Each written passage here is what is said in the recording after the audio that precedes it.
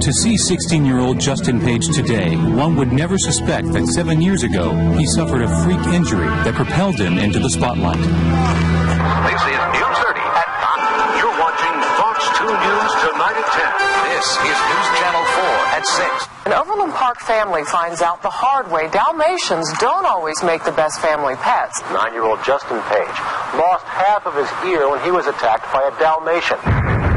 It was a holiday, and we were visiting Hannibal, where Justin's grandmother lives, and the great grandmother, all the relatives live in Hannibal. And Whitney, Justin's little cousin, was out playing with Justin in the front yard. Playing with the dog, and I was bent over petting it, and my cousin kicked it from behind, jumped up and bit my ear. The next thing I knew, the door opened, and Whitney came in and yelled, The dog bit Justin's ear. I didn't think anything happened.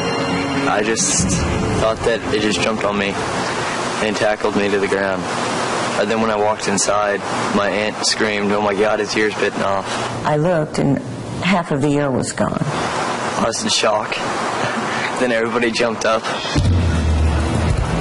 There was mass hysteria. We ran outside. You could see just a little pink ear laying on the sidewalk. Justin's mother put the ear on ice and raced to get Justin to the nearest hospital.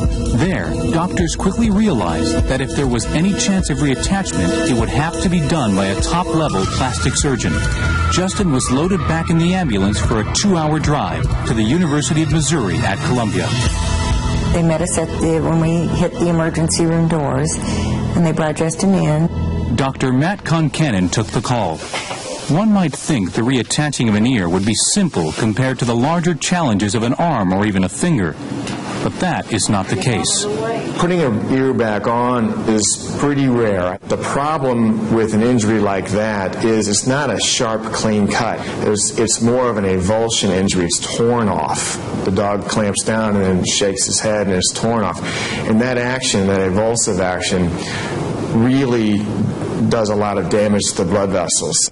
And they were telling us what a delicate operation it was, and there was no guarantees. I can't remember exactly what I told the parents. I think I said we have a 50 50 shot.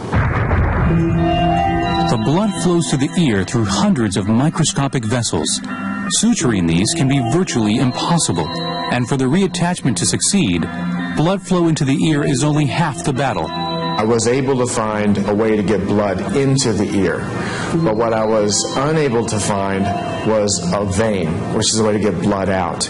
If if we don't have blood going out, it's just going to back up and it causes the ear to die just as quickly as if we didn't have blood flow at all.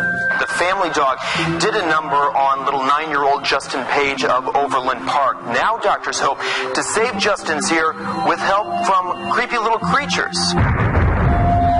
In a world where high tech solutions are commonplace, this ancient medical remedy, the blood sucking leech, still plays a vital role in many reattachments.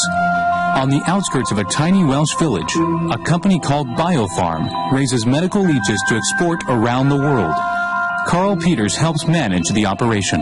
It's a big thing to get over it. Whenever you think of leeches, and uh, you always think of things that come from ponds, and uh, which they do. The leech is much more than a simple bloodsucker. As it attaches, it secretes an anesthetic so its prey feels no pain.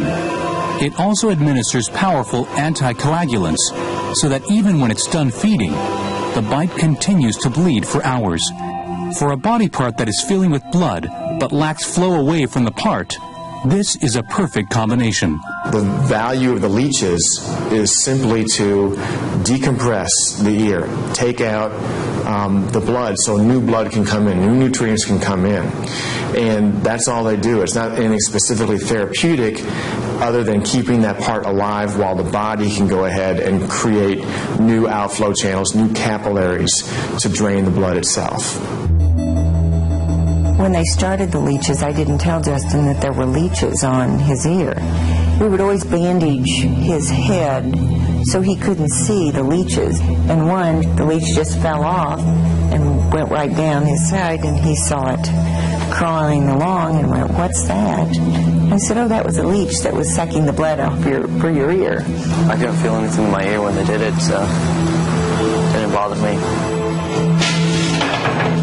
At this time, it's virtually impossible to create a machine which would administer anaesthetic, cut a perfect hole, deliver a, sort of a, a whole raft of six or seven, maybe eight anticoagulants, suck away the, the congested blood and then drop off, and then leave, leave the area which would bleed for about 10 or 15 hours afterwards to, to keep it alive. When the leeches were through sucking the blood, I would pick up the tweezers and then pick up the leech and dump them in the alcohol, and then we'd watch them dissolve together.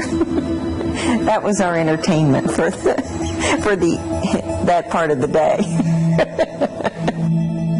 Justin's story filled the area news as fascination with the replant and the leeches turned him into a celebrity. Justin was great, and he was getting a ton of attention. He ate it up. Justin apparently came out of it just fine, as you see there. He's recuperating tonight at MU Children's Hospital in Columbia. Doctors say he'll regain feeling in his ear, and his hearing is okay. And seven years later, Justin suffers no ill effects from the dog attack. Justin doesn't think of himself as a, a medical miracle. He looks at it like, I got my ear back and everything is normal. People think it looks normal, and I have no problem with it. Nobody asks me about it. Nobody notices it unless I tell them so. Technically, it was very challenging. Uh, trying to reconnect those very tiny blood vessels. I feel like it was a little bit of skill and a great deal of luck. I'm just thankful that Dr. Concannon had the medical knowledge that enabled him to do the surgery and make it so successful. And I think that was a big part of Justin's recovery was the relationship between him and Dr. Concannon because he just went out of his way with Justin.